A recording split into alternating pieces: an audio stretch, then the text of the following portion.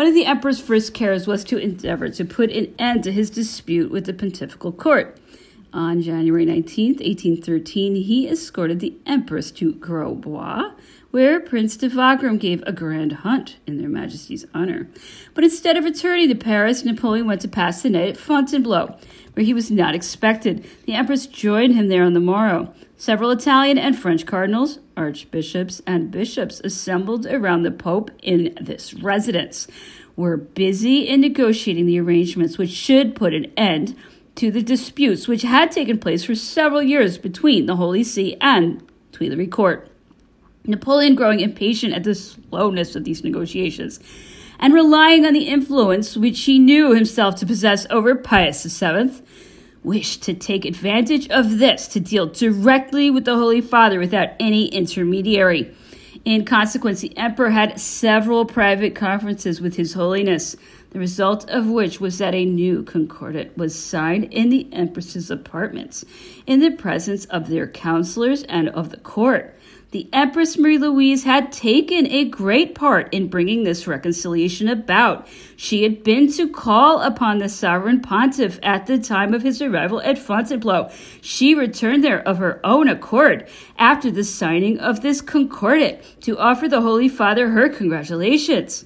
The Pope, who was a very apostle, full of sweetness and charity, loved Napoleon in spite of all, and Napoleon on his side had for him esteem and even affection. It is almost certain that they would have come to an understanding if the Pope's Roman counselors had not unceasingly held up before his eyes to check him the menace of the anathema with which he would be struck in case he were to abandon the rights of the church or sacrifice the smallest fragment thereof. The Fontainebleau Concordat was destined to dry up at their very fountainhead all these religious quarrels. It provided for the solution of all the most important questions. First, the establishment of the Pope at Avignon which was to become the see of Christendom. Secondly, the fixing of a delay of six months in which the briefs of canonical investiture were to be delivered to the bishops by the metropolitan in case there had not received, during the period stated, the bull of investiture from the pontifical court. The Concordat of 1801 had passed this matter over in silence, and the pontifical court taken advantage of these circumstances on more than one occasion to leave churches in France, Italy, and Germany unprovided with priests. No sooner had the Pope been left alone than he once more fell under the influence of his former counselors, who had been recalled from exiled by Napoleon, and who were in the pay of his enemies, the enemies of France, and initiated in their secret designs. They worked upon the conscience of the gentle and venerable pontiff to bring him to refuse the concessions which he had freely made in a spirit of concord and pacification. The Pope, obedient to their suggestions, addressed the emperor two months after the signing of the new concordat a letter in which he explained his scruples and the reason which induced him not to carry the conditions of this covenant into effect. The emperor's only answer was a decree in which he commanded the archbishops, bishops, and chapters to see that these conditions were rigorously carried out. Affairs in Germany, and especially the precarious state of our alliance with Austria, demanded Napoleon's serious attention. Austria professed the friendliest feelings and was not chary of protestations, but the always equivocal conduct of the Vienna cabinet kept alive the emperor's distrust, which was certainly thoroughly justified. Every report he received from Vienna informed him that in political circles, the dissolution of the Confederation of the Rhine and of the Grand Duchy of Warsaw was being talked of. These pretensions, it is true, were attributed to the Allied forces, but the language in which these rumors were hawked about revealed a desire to see these things realized. To enlighten doubts, which were still existent in his mind, Napoleon thought it better to replace Monsieur Otto, our ambassador in Vienna, by Count de Narbonne, his aide de camp, whose old standing relations with the Viennese aristocracy during the exile might render him better able to sound the private intentions of the Vienna cabinet. The new ambassador was not long in obtaining the revelation of the intention of this cabinet to propose an armed mediation, thanks to which it should become the arbitrator of peace. The new role with which Austria was trying to assume changed our situation, for it was evident that France was about to lose the best guarantee she possessed against Austria's bad faith. In declaring herself mediator, the contingent supplied to our army by this power would no longer be forthcoming, and from that time forward, the alliance would rest on the most fragile foundations imaginable and on assurances of friendship of which the Vienna cabinet was never chary, but whose sincerity Napoleon had reasons to mistrust. Whilst awaiting the turn which these events were about to take, Napoleon devoted himself to the details of home government without neglecting the achievement of works which had already been begun, he reduced the sums of money allotted to each. He paid visits to the public establishments and showed himself in the Faubourgs, where his simple and homely manners aroused the enthusiasm of the people. These walks in Paris were constantly inspiring the emperor with ideas for improvements, embellishments, and useful reforms. He notably gave orders for municipal works for the distribution of water in the various quarters of the town and the increase in the number of fountains for the achievement or construction of market houses, slaughterhouses, sewers, bridges, for the erection of large buildings intended to receive the archives of the empire, the university, and its dependencies. A school of fine arts with studios and exhibition rooms, and finally for the establishment of four large cemeteries at the four cardinal points of Paris. This useful employment of the few moments which the constant anxiety of war left free to Napoleon is an example of the advantages of every kind which the departments would have derived from the journeys which he proposed to make as soon as lasting peace should give him the leisure to do so. Napoleon also went with the Empress to the Invalides, reviewed the old soldiers there, inquired as to their wants, tasted the food provided for them, and made the Empress do the same. The sovereigns walked through the gallery in which were exhibited the raised plants of the fortified towns and harbors.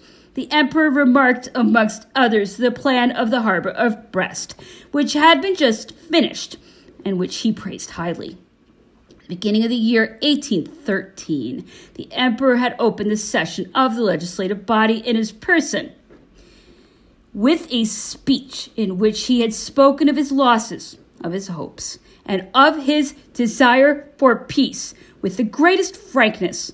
This speech had been followed by a speech by the Minister of the Interior, in which he read out a statement of the situation of the empire during the two preceding years.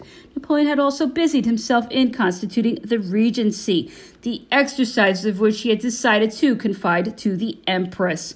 It had been proposed to him to give a special household to this princess, at the head of which a surintendant should be placed. However much the emperor objected to the creation of any fresh charges at court, this proposal had seemed to find favor in his eyes. He had then cast his glance on Monsieur de Narbonne, whose distinguished intelligence and courteous manners had always pleased him as a fit man to fill this post. But he soon abandoned this project and took this officer as his aide de camp until the time when he sent him to Vienna.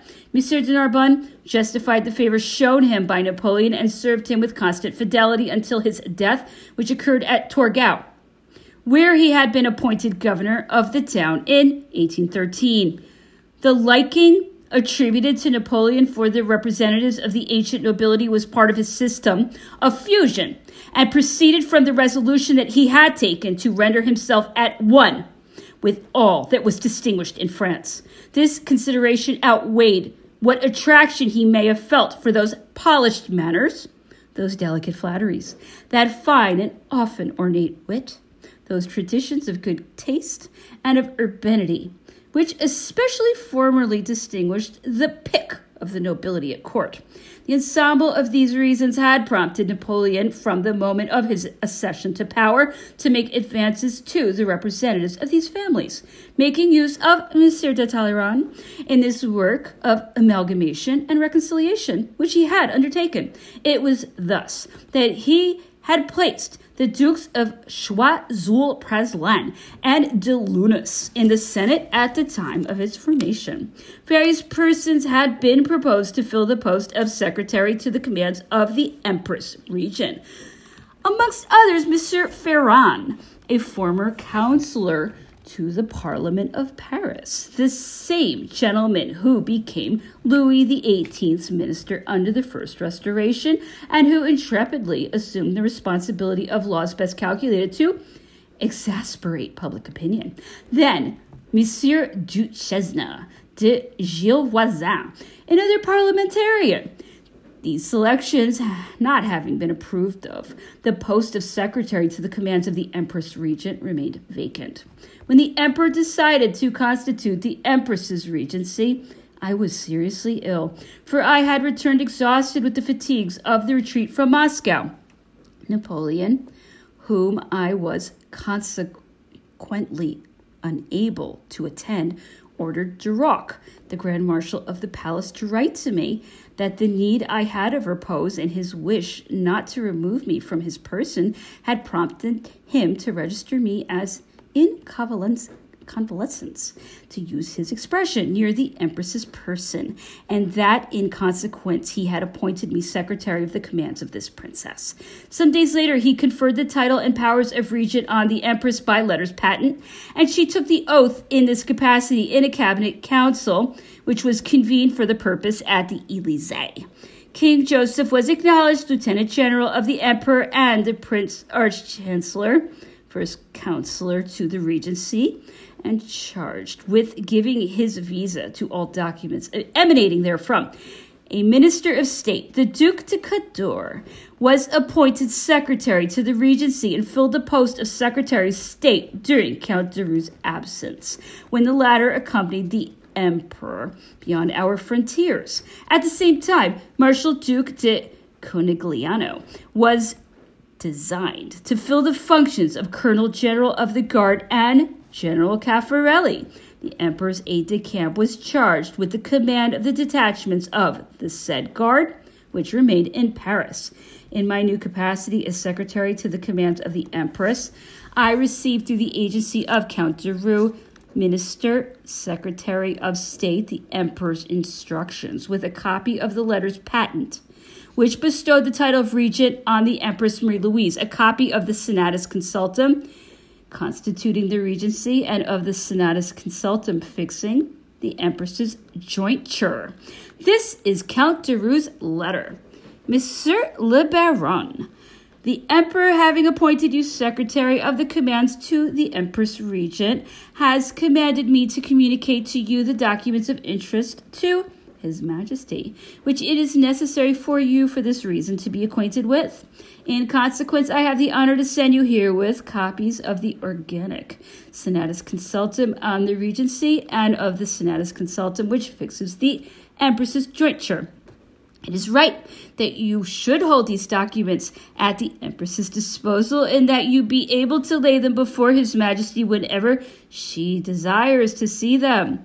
The Emperor also wishes you to prepare the protocol of the Empress's cabinet and that you should present it to the Minister of Exterior Relations, who will submit it to Her Majesty. The original of this protocol will remain in your hands. It is also necessary that you should withdraw all letters and communications which may have been addressed to the Empress from the Ministry of Exterior Relations, and that in future you should write the answers to such communications. It is essential, Monsieur le Baron, that you should procure everything concerning the statutes of the imperial family and the constitutional acts of the state to place them at the disposal of Her Majesty the Empress whenever she may need to see them.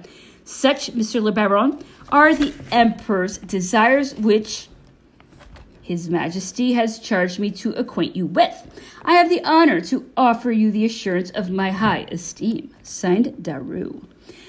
When I was appointed secretary of the commands of the regent, and as this appointment was only a temporary one, I did not draw the salary attached to this post.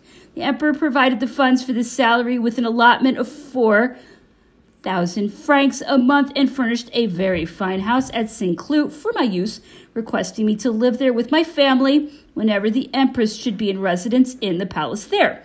At the same time, he gave my wife and myself our daily entrees to the Empress's evening drawing rooms. And lastly, he ordered me to write to him every day, which I never failed to do and without a single interruption. I took possession of my functions in the Empress's service some days before she was declared regent. I had had frequent opportunities of appreciating the gentleness and the kindness of this princess. My frequent relations with her taught me to know these winning qualities still better. She took pains to render the exercise of my functions as easy and as pleasant as possible, so that they were a real sinecure.